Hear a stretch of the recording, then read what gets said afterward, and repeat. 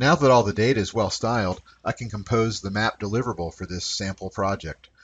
QGIS has a print composer for designing maps. Before I open the print composer, I'm going to get the final extent set correctly. I'll zoom in a little bit tighter to the sage-grouse habitat data. So I'll use the zoom in tool and I'll drag a box with my left mouse button just a little bit tighter to the habitat than I currently was, leaving a little bit of the Pacific Ocean for context off to the west. Now I'll click on Project, New Print Composer, and I'll give the composer a name. I'll just call it Lab 4 and click OK. The Print Composer is an application window with many tools that allow you to craft a map. The main window shows the piece of paper upon which the map will be designed, and there are buttons along the left-hand side for adding different map elements such as the map body, the scale bar, photos, text, shapes, and attribute tables, etc.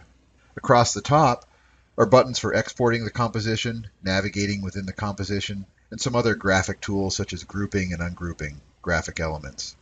There's also a commands history panel, which I'll close for now. I'll make this a little bit bigger so I can see my map better as I'm working with it. I can use the zoom in to zoom in to my sheet of paper.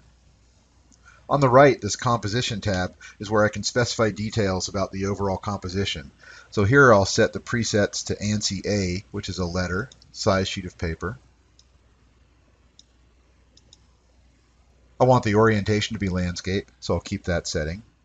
And then I want to set the export resolution to 300 dpi, which it is by default. That's a good resolution for printing. And these were all listed as map requirements at the beginning of the lab. This button here on the left is the Add New Map button. I'll click it and I'll drag a box on my sheet of paper where I want the map to go. I'll need a little room at the top of the page for a title and a little room to the right for a legend. The map object can be resized after it's added by selecting it and using the handles around the perimeter to resize. So I can drag it, maybe shift it a little bit to the left so that I have a little more room for a legend over there.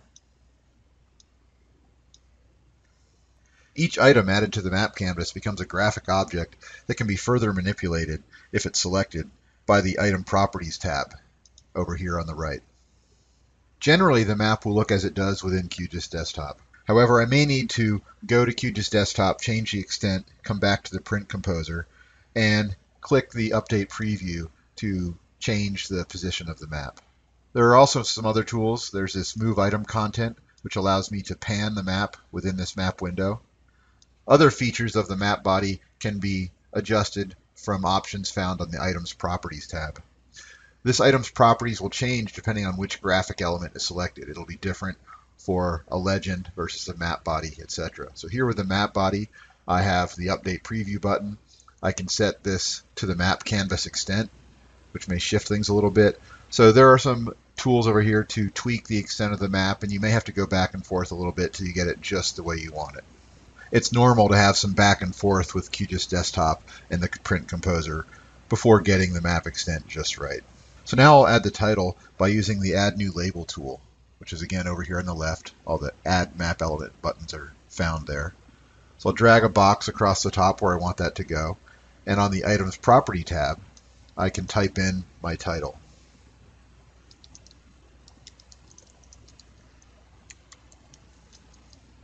Once I've got my title set, I can click the font button to adjust the font. I'm going to use Times New Roman with a size of 36 and I'll make it bold. Click OK. There are also tools for aligning it. I'm going to give it a horizontal alignment of center. Now I'll add a legend. I'll use the Add Legend tool and click where I want that to go. There's some editing that needs to be done to this legend. The uppermost western states layer doesn't need to appear in the legend. It's there just for cartographic reasons. Nor does Mexico since it doesn't appear on the map. Furthermore, the land ownership classes should be spelled out for the map reader. So I'll select the legend, and on the Items tab, uncheck Auto Update. This will enable us to modify the legend. However, updates to the map will no longer be reflected in the legend unless we re-enable Auto Update. To delete any unnecessary layers, I can just select them and click the Delete button. So for example, this upper Western States layer doesn't need to be there, and I can just select it and click this Delete button to remove it from the legend. It's still on the map. I'm just removing items from the legend here. I'll also select Mexico and delete that. Now I'm going to work with the federal land ownership in the legend. I'm going to select BLM and I'll click this edit button and this allows me to change BLM to the Bureau of Land Management. It can be good to fully spell out acronyms so that the map reader doesn't have any confusion about what those are. You'll do this for the other land ownership classes as well. So here I've taken care of those other land ownership classes. I'll reposition the legend. The final map will look something like this. I added the data sources. This is another label found here. So it's added the same way as the title, just with a smaller font. This neat line was also added. That was added by using the add rectangle tool, going into the style of that, and then just making it a fill of no brush.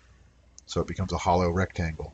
Now that my composition is complete, I'll export it with the export as image button found right here.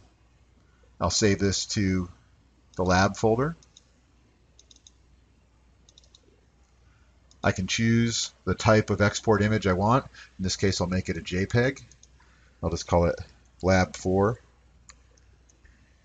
It'll export it at 300 dots per inch as we specified, and it'll be a page size map as a JPEG that you could then insert into a report or give to a client, etc. So in this lab, you've created a well-designed map using some of the cartography tools available in QGIS Desktop. You created a map highlighting federal land ownership within sage-grouse habitat for a client.